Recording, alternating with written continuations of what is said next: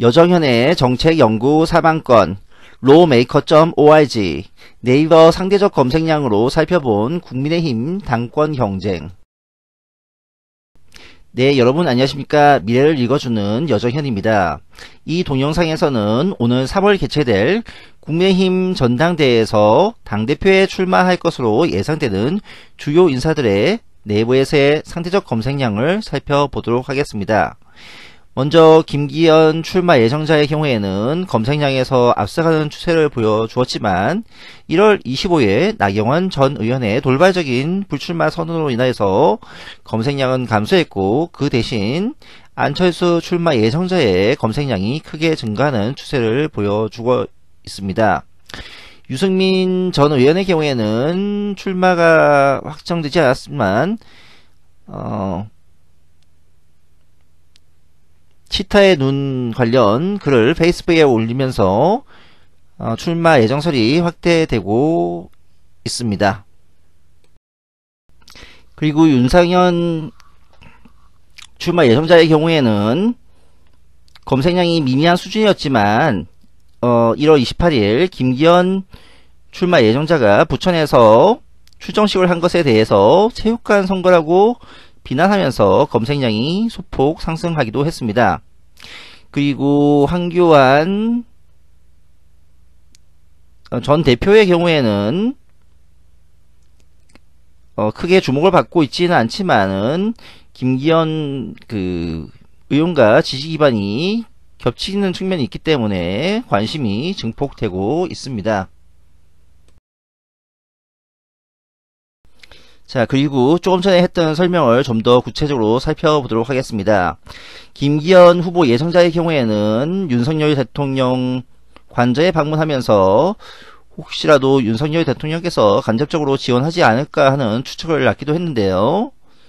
연대와 포용 탕평, 정책을 내세우면서 여러 세력과의 연대와 통합을 강조하고 있습니다. 그리고 흑수저론을 제기하면서 서민적인 후보임을 부각시키고 있습니다. 그리고 20, 1월 28일 날 부천 체육관에서 개최된 출정식에서는 윤석열 대통령의 어퍼컷 세러머니를 재현하면서 윤석열 대통령과의 관련성이 높은 것이 아닌가 하는 추측을 낳게 하기도 했습니다.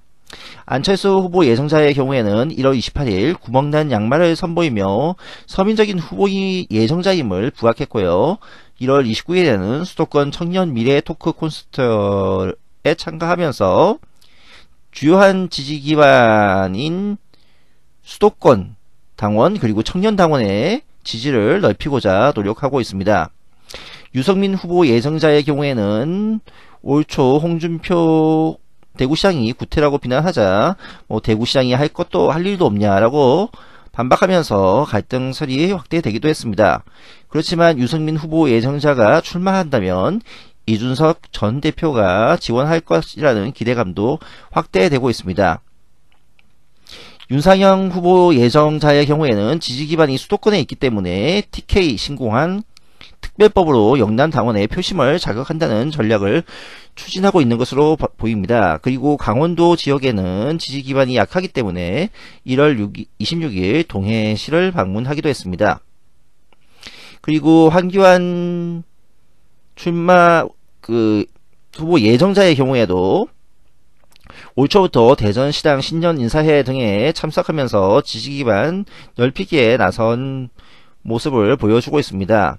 그렇지만 홍준표 대구시장이 패스트트랙에 대한 책임론을 제기하면서 홍준표 대구시장과의 갈등설이 확대되기도 했습니다.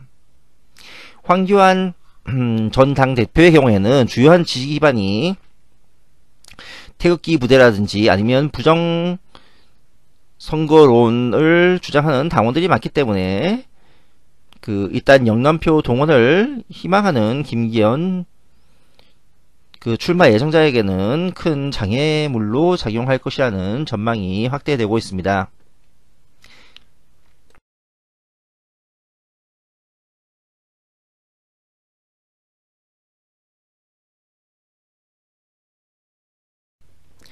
네, 지금까지 국민의힘 당대표 출마 예정자들의 네이버에서의 상대적 검색량을 살펴보았습니다.